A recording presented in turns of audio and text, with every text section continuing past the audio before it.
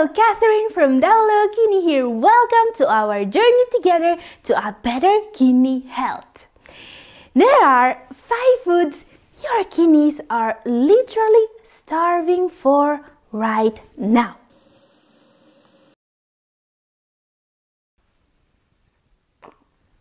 Mmm.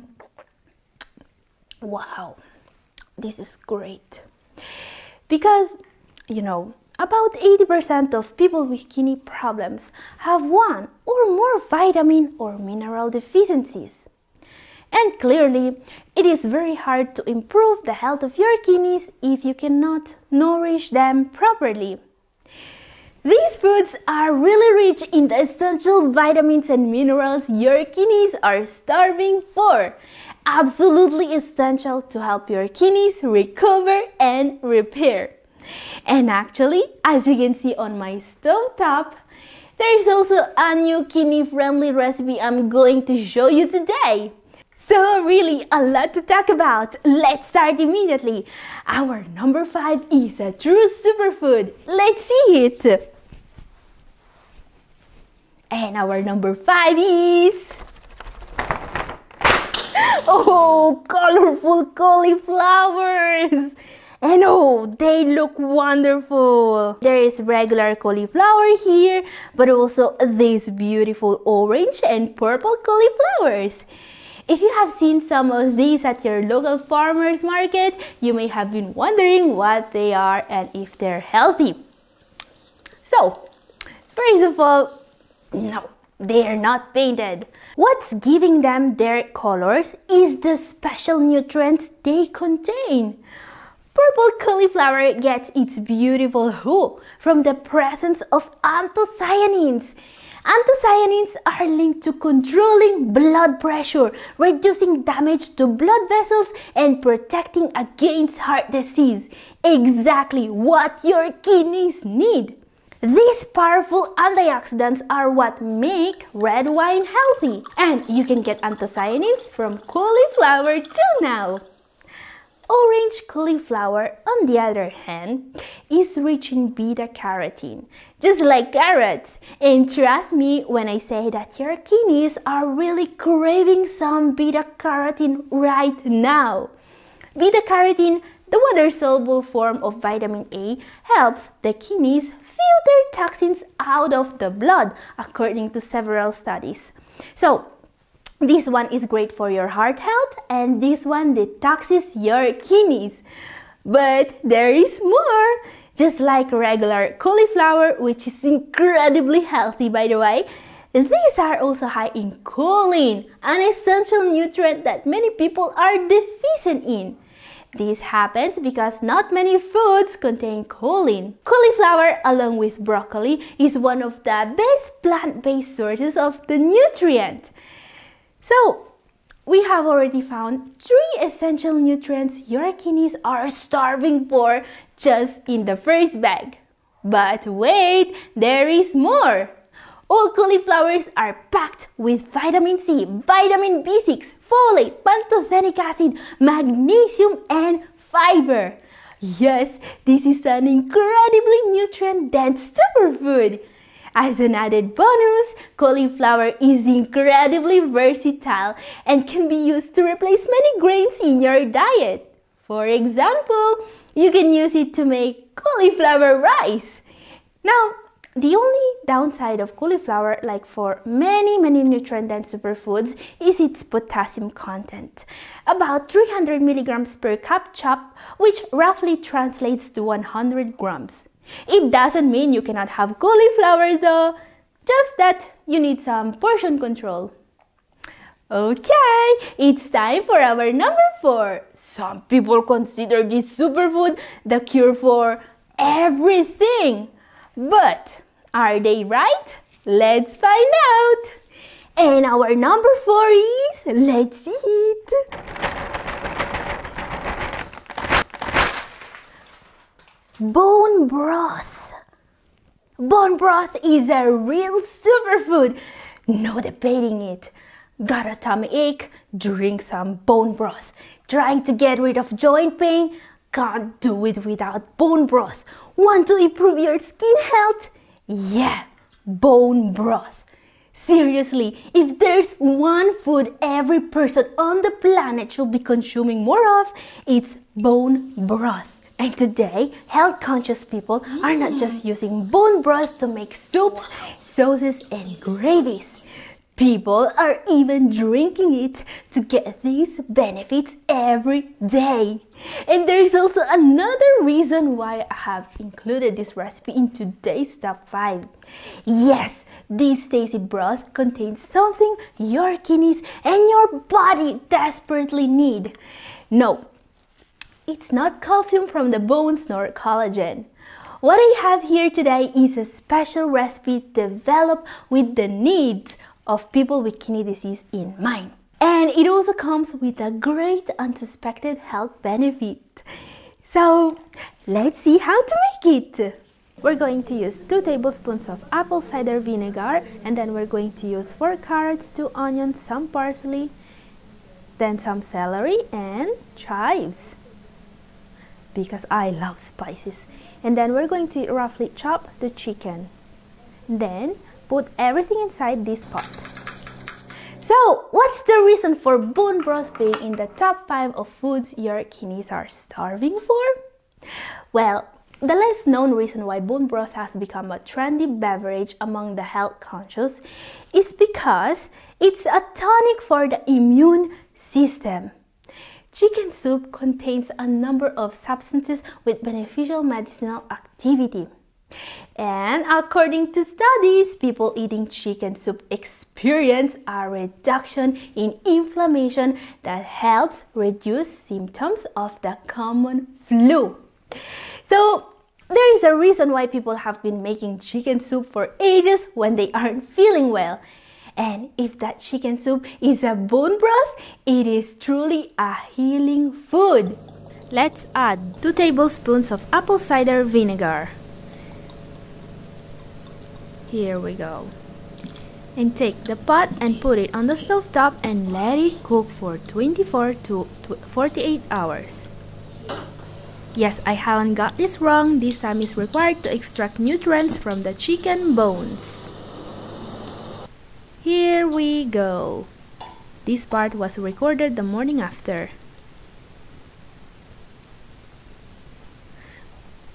We will now use a tablecloth and pass the chicken broth to get just the liquid.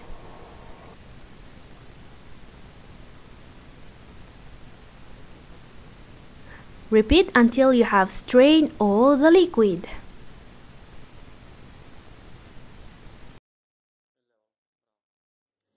And ta-da! We get the chicken broth. Our chicken broth is ready. Next step. Cover the bowl and put it inside the fridge. Here it is, our chicken broth. Okay, when the fat rises to the top, it's easier to skim all the fat.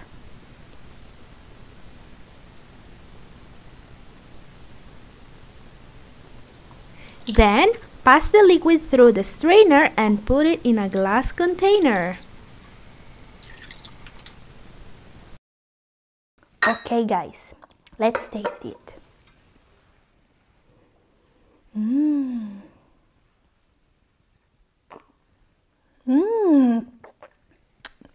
Wow, this is great. Perfect. Now guys, bone broth is great, but the next food here is going to be even more impressive. Let's see it!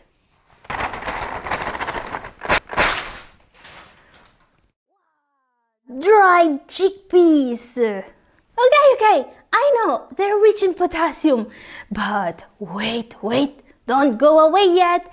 There are good reasons why chickpeas are our number three today. First of all, they're rich in many nutrients your kidneys are starving for, like calcium. There is about 6% to 8% of your daily requirement of calcium in one cup of chickpeas. Very important and very hard to get in a kidney diet. But also about 40% of your daily requirement of fiber. Now, fiber deficiency is probably the most common deficiency. Just about 5% of North Americans reach their daily recommended intake of fiber. And also about 22% of your daily requirement of iron. Very important as iron deficiency is linked to anemia. And last, about 70% of your daily requirement of folate or folic acid. Now guys, as usual, talk to your doctor before adding any new food to your diet if you have kidney problems. And while the incredible nutritional values of chickpeas are nothing new, what you may not know is that you can actually eat chickpeas as a part of a healthy renal diet. Yes, I'm not crazy to recommend you eating a food today's guidelines are forbidding patients from eating because those guidelines may soon become outdated. I'll show you why. There is a fairly recent research published in the Journal of Renal Nutrition. The Journal of Renal Nutrition is what your dietitian should be reading every two months. They research and publish about the diet for people with kidney problems. According to them, these legumes have been shown to lower some markers of cardiovascular disease and regulate blood sugar and insulin. Heart health and blood sugar are basically the two most important things when it comes to fighting kidney disease. But there is more! Researchers figured out a way to get rid of the potassium in chickpeas and still maintain the health benefits. And in just three very easy steps. 1. Let the legumes soak in a bowl of water for 12 hours or more. Do it before your bedtime. 2. Discard the soaking water, now full of potassium, and rinse the legumes well. 3. Cook them in a pressure cooker or boil in lots of fresh water. And that's it! According to the Journal of Renal Nutrition, these three steps result in a potassium content reduction of up to 80%. So, after soaking and cooking, the final values of potassium are under 120 milligrams for a 100 gram portions of chickpeas. Incredible! Okay, time for our number two now. Let's see it.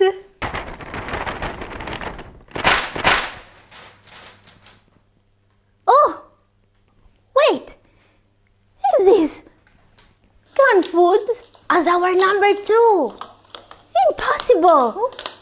Oh, wait, it's salmon. And not just regular salmon. This is Alaskan wild sockeye salmon.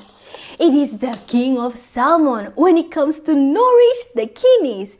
It's one of those foods your body is really starving for. Let's open the can. Let's see why. Now, this one is regular canned salmon. And don't get me wrong, canned salmon is very healthy, maybe even more than fresh salmon. Salmon is probably the best protein source you can find because even if you have to limit protein intake, the goal is always going to be high quality protein but low protein intake. So, high quality, low quantity. And this is the highest quality protein, an incredibly nourishing food. Salmon is high in several B vitamins. A 3.5 ounce or 100 grams of salmon contains serious amounts of all the vitamins of the B group, thiamine, niacin, riboflavin. There's everything in salmon. And there's also the most important vitamin, what I call the kidney vitamin, vitamin D3. Now, there's just one problem with this one. We don't know where this salmon is from. And while almost all canned salmon is wild caught, if the origin of the salmon is not listed on the label, it may be farmed. Farm salmon, of course, is a poor choice due to antibiotic use, toxins such as PCBs, and pollution of waterways where the salmon are kept. Not good for the salmon and not good for who eats it, especially in case of kidney problems. This one is different because it is Alaskan wild sockeye salmon. Let's open the can.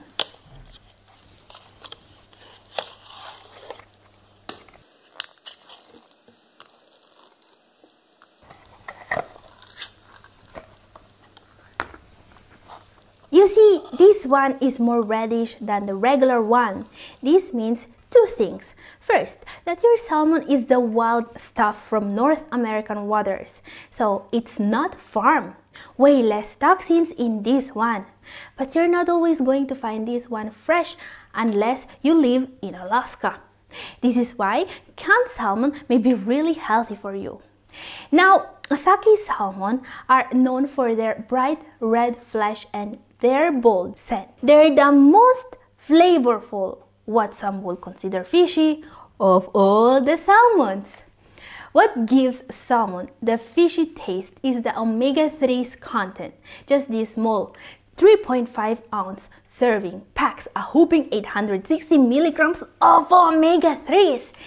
This is one of the foods with the higher content of omega-3s in the world. It's not just food, it's medicine.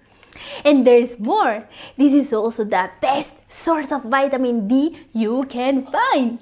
This contains about 80 micrograms of vitamin D3. That's 90% of the recommended daily intake.